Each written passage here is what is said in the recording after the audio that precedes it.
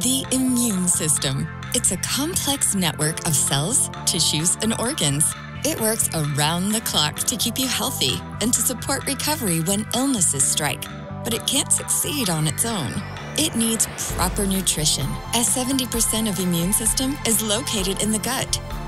Here are seven crucial nutrients to support your immune system. Protein is a macronutrient needed for the production of immune system cells and antibodies. Find it in meat, fish, beans and legumes, dairy, tofu. Vitamin C helps build healthy skin, which is a barrier to microorganisms. Good sources are broccoli, bell peppers, kiwi fruit, citrus.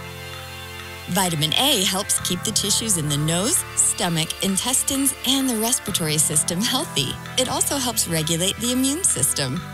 Good sources are eggs, fish, spinach. Vitamin E is a powerful antioxidant that fights free radicals that damage immune system cells. Good sources are almonds, vegetable oils, sunflower seeds. Vitamin D is a fat soluble vitamin that helps activate and regulate immune system cells. Good sources are fatty fish, egg yolks, fortified orange juice, and milk.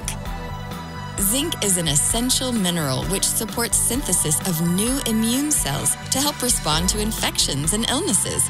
Good sources are beans, shellfish, nuts. Omega 3 fatty acids are known to reduce inflammation and keep the immune system in check. Good sources are walnuts, chia seed, fatty fish. Good nutrition plays a vital role by providing key nutrients for immune health support.